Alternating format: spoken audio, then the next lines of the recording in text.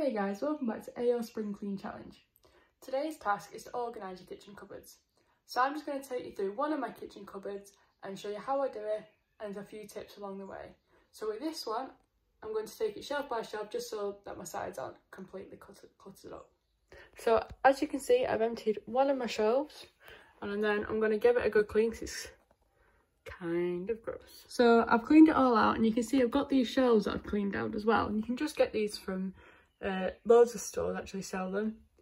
Um, and I find them useful.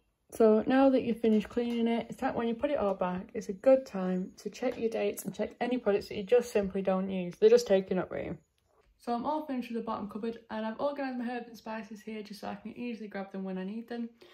One tip I have come across in the past is to get a spinning jenny, put it on the bottom, so when you're looking for a herb, you can just easily spin it around and find the one you're looking for. Unfortunately, the one I have is a little bit too big and doesn't fit in the cupboard. So as you can see here, I do actually have most of my food in jars, so that there's just not there's not packets lying around and they're not going to spill everywhere.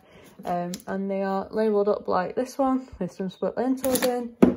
So this shelf is now all organised. Um, I've actually just wiped it all down, checked all of these jars. It reminded me of some of the things that I didn't have um, and put everything back where they belong. Time to tackle the tins. So as I've been going through the cupboard, I've noticed a couple of things I'm just never going to use. I've checked that they're still in date, so I'm going to donate them to friends or family or neighbours and or even food banks. Like I'm never ever going to have rhubarb or ginger jam. All my crisps in a basket instead of just floating around up there.